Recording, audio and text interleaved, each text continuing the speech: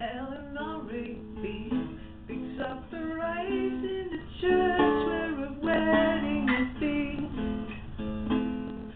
This is a dream, waits by the window wearing a face that.